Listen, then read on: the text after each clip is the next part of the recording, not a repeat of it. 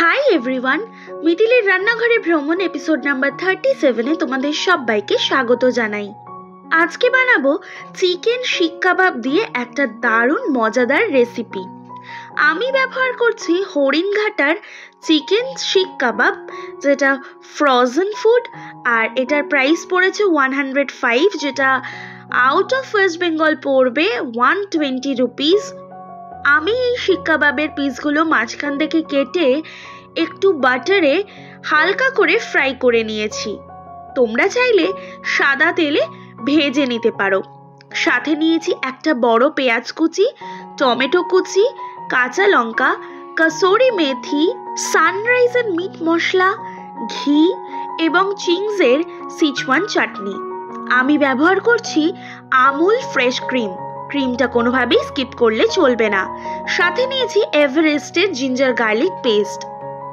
প্রথমে অল্প সাদা তেল কড়াইতে দিয়ে আমি আদা, রসুন বাটাটা দিয়ে ভালো করে নেড়ে নিচ্ছি। তারপর কাঁচা গন্ধটা চলে গেলে দিয়ে দেব একে একে পেঁয়াজ কুচি, টমেটো কুচি এবং খুব ভালোভাবে ভাজা করতে হবে।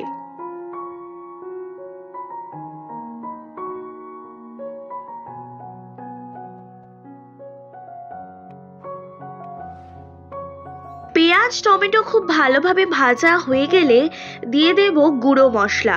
আমি দিচ্ছি হলুদ গুঁড়ো, লঙ্কার গুঁড়ো এবং মিট মশলা গুঁড়ো।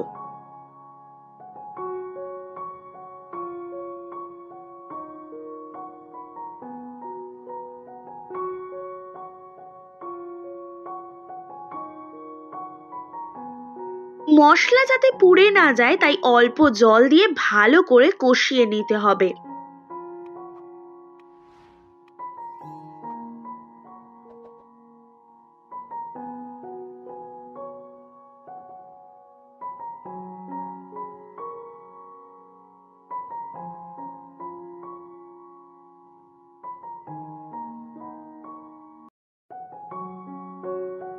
মশলা ভালো করে কষিয়ে দিয়ে দেব এক চামচ মতো সিচুয়ান চাটনি।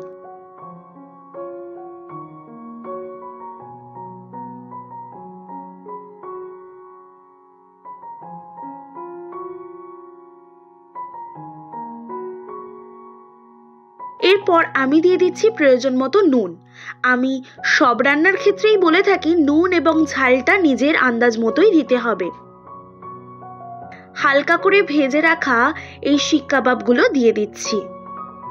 মাথায় রাখতে হবে এটা কিন্তু ফ্রোজেন ফুড তাই কোনোভাবেই দোকানের মতো একদম স্মোকি ফ্লেভার হয়তো আসবে না, কিন্তু খেতে খুবই ভালো। তাই তোমরাও বাড়িতে চটজলদি এরকম একটা রেসিপি অবশ্যই ট্রাই করে দেখতে পারো।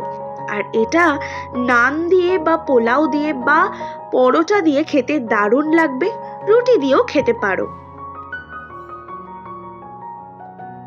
এরপর হালকা একটু ঝোলের জন্য মিশিয়ে নিয়েছি জল। ভালো করে জলটা ফুটে উঠলে এবং ঝোল ঘন হলে দিয়ে দেব কাঁচা লঙ্কা। আর দিয়ে দিচ্ছি গরম মশলা গুঁড়ো।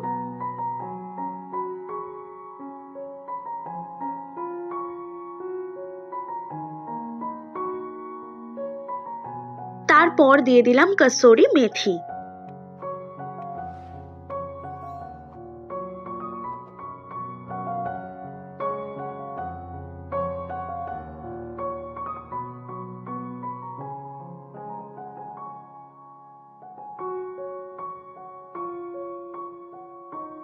মোটামুটি গ্রেভিটা একটু ঘন হয়ে এলে দিয়ে দেব আমুলের ফ্রেশ ক্রিম। তোমরা চাইলে অন্য কোম্পানির ক্রিমও ব্যবহার করতে পারো।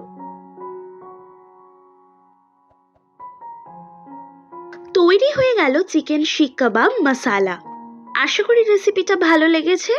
বাড়িতে অবশ্যই ট্রাই করো। বাই!